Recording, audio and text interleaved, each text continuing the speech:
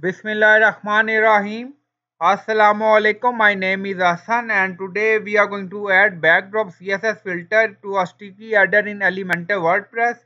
Before starting work, it's my request please subscribe my channel. Thank you. Now back to our work.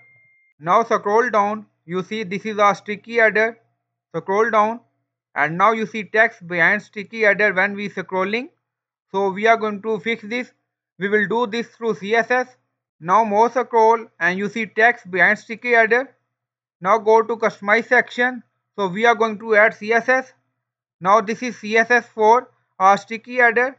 Now add CSS here. Backdrop filter. Now you see backdrop filter blur 6px and you will find this CSS in video description or in comment section and you can add number according to your requirement here and you can add this line of CSS in your sticky header CSS. Now click on publish.